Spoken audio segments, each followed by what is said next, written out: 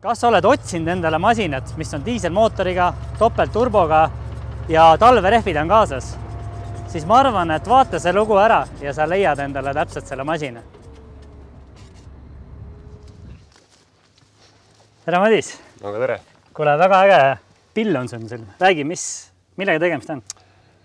ütleme kohe siis ära, et tegu ei ole tankiga, mida paljud kindlasti arvavad, tegu on jalaväe lahingumasinaga, mis tähendab seda, et ta töötab küll koos tankiga aga erinevalt tankist siin on lisaks tagasis olemas ka jalaväelased, kes meid saavad lahingus toetada.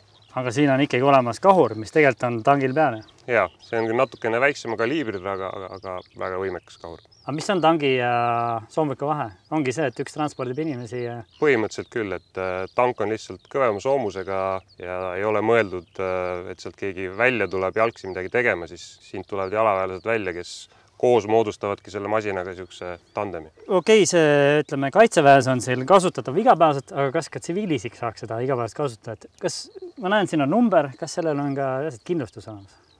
E, kindlustusi me neile ei tee, kui me Eestis oleme, aga loomulikult käib masin ülevaatusel, nii nagu iga masin käima peab. kui suur mootor sellel on? sellel on äh, kuueteistliitrine Scania V8 kahe turboga diisel niisugune circa kuussada kilovatti, eks natuke üle kaheksasaja hobujõu uh,. sellega liiguks küll juba tänapäeval, palju see sisse võtab? ütleme niisugune seitsekümmend natukene plussi ja seda siis maastikul, mitte ainult maanteel, et. ükskõik, mis pinnas on, sisuliselt? no järsud kraavid mitte, et seal võib masinat lõhkuda, aga põhimõtteliselt küll. aga kuueteistliitrine mootor, äh, kui palju on kütusekulu?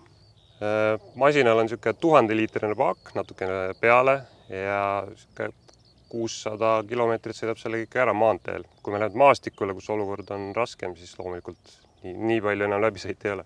praegu on all ilmselt suverehvid, ma vaatan. põhimõtteliselt küll, jah. Äh, ikkagi ja, muster on muidugi suhteliselt sile, et ma ei tea, kas sellega ülevaatusest läbi saab? no tegelikult võtame kogu selle roomiku pinna, siis ta on ikkagi suhteliselt krobeline ja haakumist on väga palju. aga kas sellel on ka talverehvid olemas? et talverehvid... Eesti talv on niisugune jäine ja ikka on vaja jää oli täpselt õige sõna, ehk siis soomuk jääkingad on siinsamas, me võtame need kummipadjad ära ja lähevad asemele jääkingad, nii et ka väga libedates oludes on väga hea pidamine. aga selleks, et tavaliikluses liigelda, peaksid olema ju peeglid ja tuled? kõik on olemas, peeglite augud on siin mõlemal pool, aga neid me ei kasuta lihtsalt seetõttu, et nad metsas jäävad meil igal pool okste taha kinni ja lähevad katki.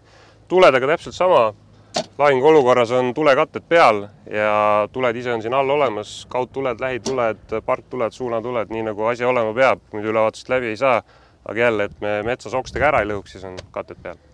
kui tuled on siin nurgas, siis äh, kus kohas see juht on üldse, ma näen, et siin on kõik nagu kinni kaetud, et äh, kus see, kus see juht näeb, et kui ta siin toimetama hakkab, et? juhi koht näete kaurist natukene vasakul, seal on kolm niisugust väikest prismat ja sealt vaatab juht välja, seal luugi all on soomukjuht aga seal on ju taga ka vist mingisugune kaamera on ju? Äh, kaamerad ei ole ainult taga, kaameraid näete siin ees, kahuri all. kaamerad on mõlema külje peal ja siis klassikaline tagurduskaamera on taga, jah. ühesõnaga kõik tänapäevase auto äh, lisad on olemas, peeglid, tuled, talverehvid, äh, siis on tagurpidi kaamerad, edaspidi kaamerad ja, ja, ja lisaks on veel sõber kaasas kogu aeg, kes, kes toimetab. et igav ei hakkaks. et igav ei hakkaks, jah, see on äge vaatan, et seal on suured antennid ka.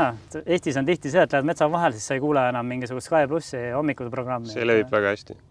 levib väga hästi, igas kohas saab kuulata. ja, ja, ja siin on nii palju klaase ka ja ma vaatan, et siin on klaasipühkid, et ilmselt ainukene suur kulu võib-olla ongi selle masini juures siis ilmselt äh, klaasipühkijate kulu. ja ütleme kütus ja kojamehed jah, et midagi muud siin ei kulu tõesti.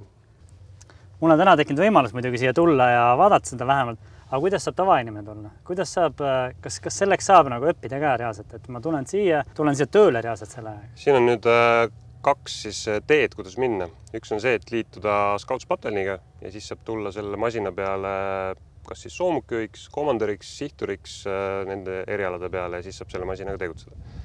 teine variant on neile, kes on huvitatud rohkem sellisest tehnilise poole pealt see aasta läheb siis käima projekt, kus neil on võimalik minna õppima tegelikult selle soomuki remonti ja hooldust Järvamaa Kutsehariduskeskusesse, kus nad teevad sügisel äh, ära siis sellised klassitunnid, äh, eeldused, eeldusained ja novembrist tegelikult kuni suveni välja nad tulevadki meile siia Tapale kus nad saavad äh, praktikas selle masina üksipulgi selgeks.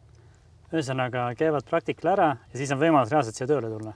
Ja kindlasti kõiki neid mehi, kes lõpetavad, me hea meelega võtaks endale just selle hoolduse remondi poole peale tööle palju teil, ütleme, kui nüüd peale seda videot tuleb jõhker tung peale, et palju teil neid masinaid üldse kokku on, et kas kõigil jagub ikka või?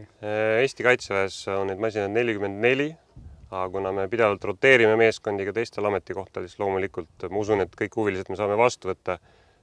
lisaks varsti me saame lisaks nendele lahingumasinatele ka toetusmasinad ehk siis õhutõrje, pioneer, tankitõrje ja nii edasi tulevad samuti Roomik platvormile ja sinna on samuti mehi vaja, nii et ei tasu karta, et kohta ei ole. kas ka naisi? loomulikult. vaatan, siin on peal kirjas Lembitu, kas igal, igal masinal on ka nimi? ja et äh, vastavalt sellele, kuidas masina komandör ise tundis, äh, on masinatele pandud sellised ajaloolised äh, nimed. Aga kuna see masin on automaatkäiguhastiga, topeltturboga diisel, nagu tänapäeval masin, kõik asjad, et ma läheks teeks sellega sõitu ka, mis sa arvad? loomulikult, siis vaatajad näevad ka, et tegelikult on lihtne masin, mida Saab väga hakkama. kiiresti selgeks õppida. saab hakkama. kuule, aga davai, lähme proovime. okei okay